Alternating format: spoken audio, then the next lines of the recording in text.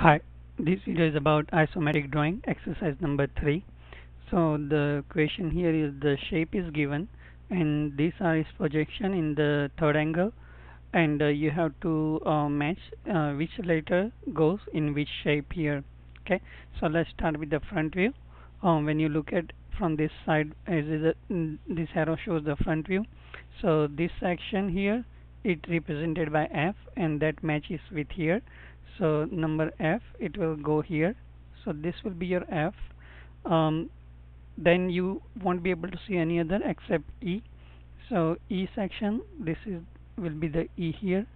Now if you look at from the side view uh, this bottom section that will be A here. And uh, this top section the one with the slope that will be represented by B here. Now when you look from the top you will see the C here. So C will go here and then uh, you will able to see this section D.